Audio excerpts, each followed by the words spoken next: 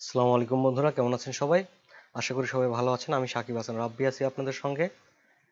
আজকে আমরা অ্যাডোবি ইলাস্ট্রেটরে ব্রাকের লোগোটা ট্রেস করা এবং কীভাবে ভেক্টর করতে হয়, এটা একটি ইমেজ আছে। ইমেজ থেকে আমরা ভেক্টর করে দেখব।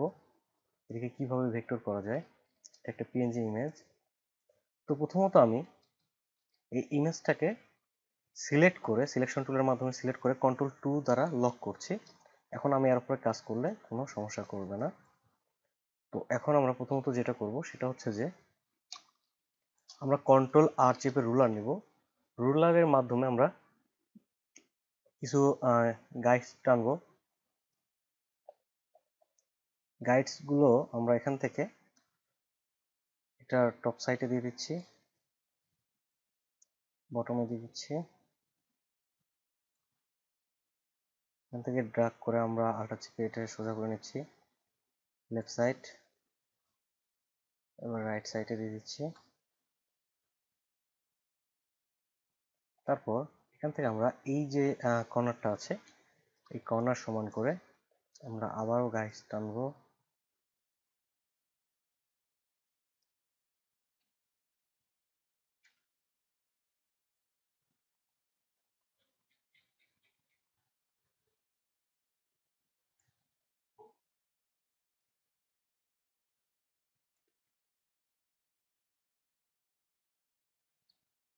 হয়ে গেছে।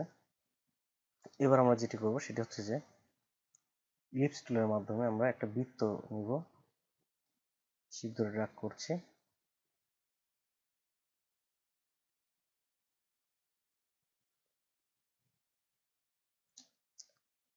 এবার এখান থেকে আমরা ফিল কালারটি নান করে দিচ্ছি স্টক কালার রাখছি। এবার শিফট আল্টার চেপে সমানভাবে ছোট করছি বৃত্তটাকে।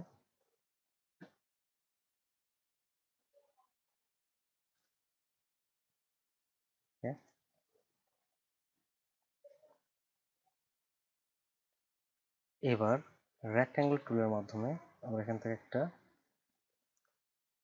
বক্স ক্রিয়েট করে নিচ্ছি।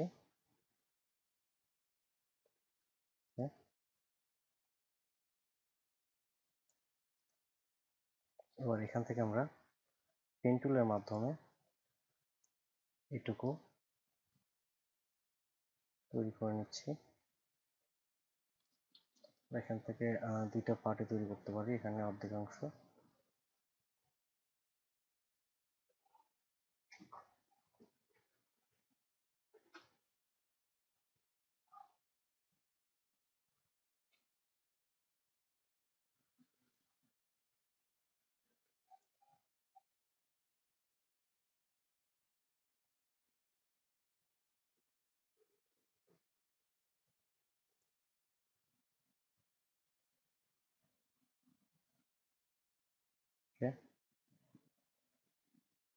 এবার এখান থেকে আমরা কর্নারটা সিলেক্ট করে ড্রাগ করে এটাকে কার্ভ করে দিচ্ছি। আর একটু স্মুথ করার প্রয়োজন আছে, তাছাড়া এই কর্নারটা অনেকটা বেশি কম হয়ে গেছে।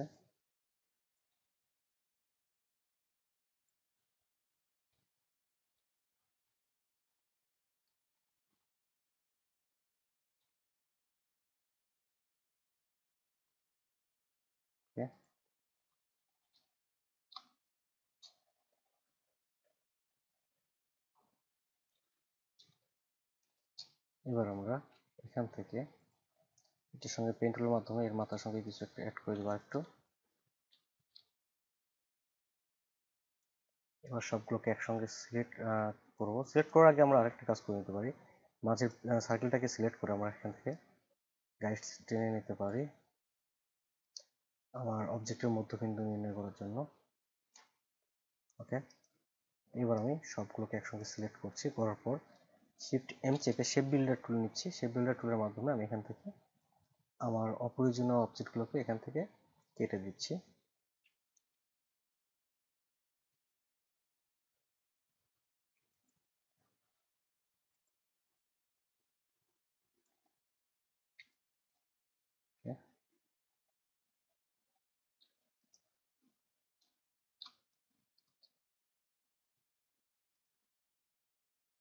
ওকে ড্রাগ করে কার্ভ করে নিচ্ছি। এবার আমরা এটাকে সিলেক্ট করে আই চেপে আইডোর করার মাধ্যমে আমরা এখান থেকে কালার পিক করে নিচ্ছি। সবকিছু ঠিকঠাক আছে। এবার আমরা এটিকে সিলেক্ট করে রোটেক টুলে যাব রোটেক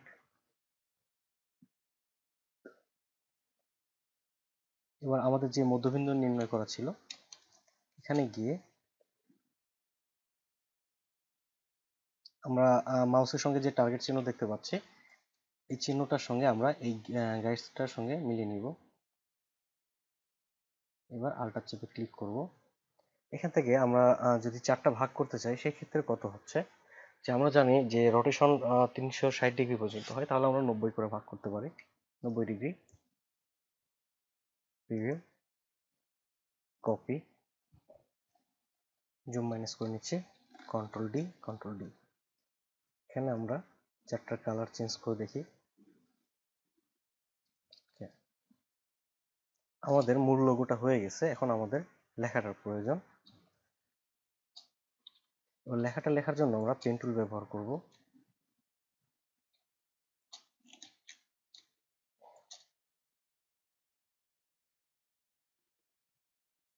ক্লিক এখানে ক্লিক শিপ ধরে। এখানে ক্লিক তারপর সে ক্লিক এখানে এসে আমি ক্লিক করে ড্রাগ করছি নিচের দিকে।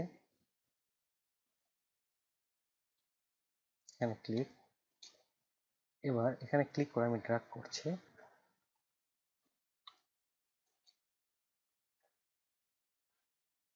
ক্লিক করে ড্রাগ করছি। আবারও নিচে ক্লিক করে আমি এখান থেকে ড্রাগ করে দিচ্ছি। ওকে। Drag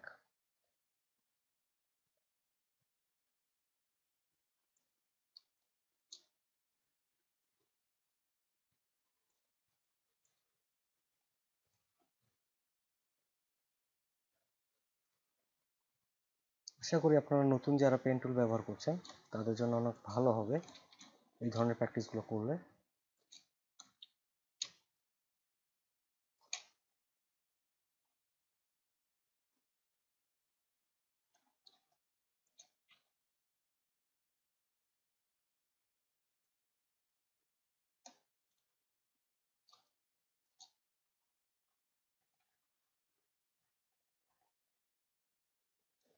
আলটা চেপে মাথাটাকে একটু ছোট করে নিচ্ছি। এখান থেকে ক্লিক এই কার্প অংশের ভিতরে অর্ধেক অংশটুকু এখান থেকে আমি কাপ করছি। এবার এখানে গিয়ে ক্লিক শিপ ধরে নিচ্ছি ক্লিক এখানে ক্লিক ক্লিক করছি। এবার এই অংশটুকুতে আমি ধরে ড্রাগ করছি। আর এখান থেকে এই অংশটা আমি ড্রাগ করছি। আলটার চেক আমি এটাকে একটু উপরে উঠিয়ে নিচ্ছি।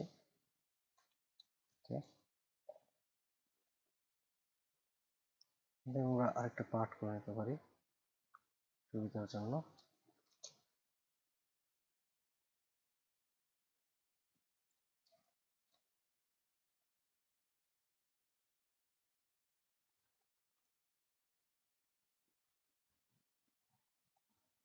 Click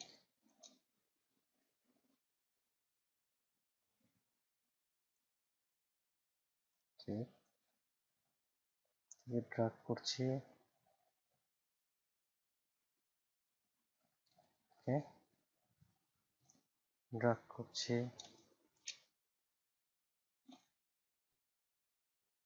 এখানে আমাদের হ্যান্ডেলটা বড় হয়ে গেছে, সেক্ষেত্রে আমরা আল্টার চেপে এটাকে একটু ছোট করে নিতে পারি। এবার এই হ্যান্ডেলটাকে আমরা একটু বাড়িয়ে নিতে পারি।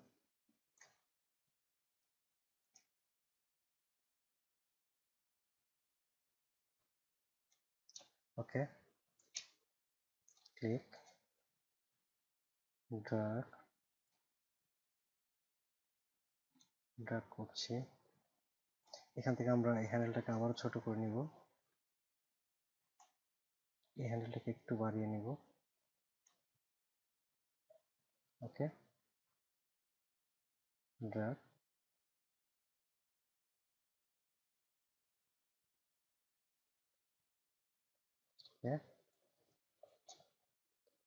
ক্লিক করছি। এখানে ক্লিক এখান থেকে আমরা ড্রাগ করে কার্ভ অংশটুকু মিলিয়ে নিব। আর এখানে এসে একটু ড্রাগ করব। নিচে এসে হালকা ড্রাগ করব। এবার এই পাশ থেকে আমরা একটু কার্ভ অংশটুকু কমিয়ে নেব। ড্রাগ ক্লিক ক্লিক এখান থেকে ড্রাগ করছে। তারপর মাঝ অংশ থেকে হালকা ড্রাগ করব।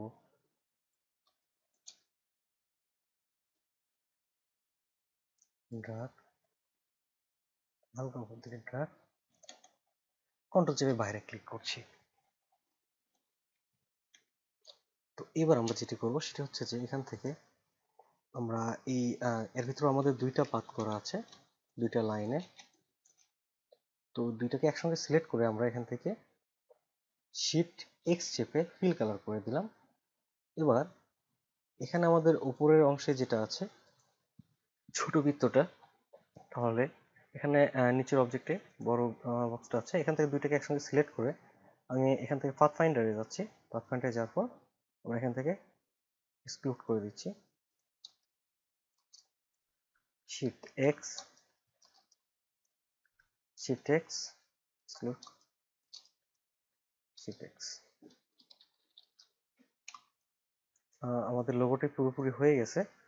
আমরা পুরোটাকে একসঙ্গে সিলেক্ট করে নিই আমরা এটাকে গ্রুপ করে ফেলছি কন্ট্রোল জি এর মাধ্যমে গ্রুপ এবার এই গাইডসগুলোকে সরানোর জন্য আমরা ভিউ ভিউ থেকে গাইডস গাইডস থেকে ক্লিয়ার গাইডস ওকে এবার আমরা এটাকে এখান থেকে সরিয়ে নিচ্ছি।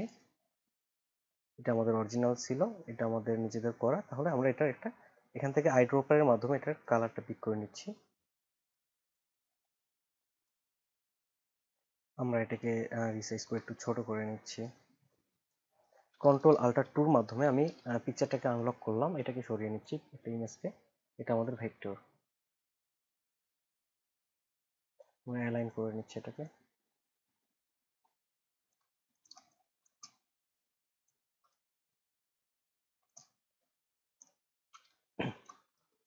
তাহলে আমরা খুব সহজে একটা ইমেজ থেকে, একটা ইমেজকে ট্রেস করে কীভাবে ভেক্টর করা যায় এটার পদ্ধতি দেখলাম। একটা ব্রাক লগোকে কীভাবে আমরা ইমেজ থেকে ভেক্টর করলাম, এটা আমরা দেখলাম। তো আমরা চাইলে এটা যে কোনো কালার কালারে পরিবর্তন করতে পারি এবং এটাকে রিসাইজ করতে পারি, এটা রেজুলেশন লস হবে না।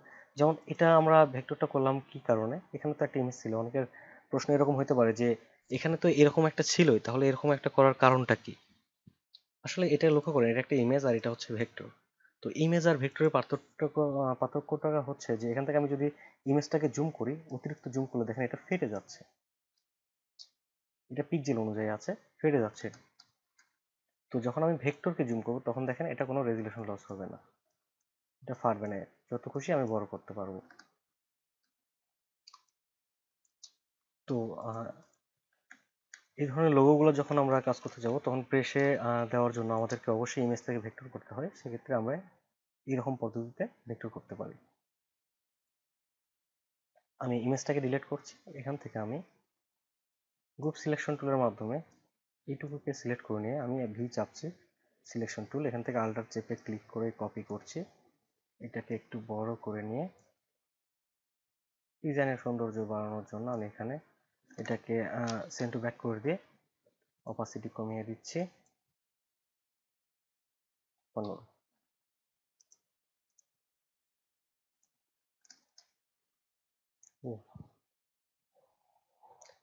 আশা করি সবাই বুঝতে পারছেন এবং সবাই নিজে নিজে প্র্যাকটিস করলে করতে পারবেন।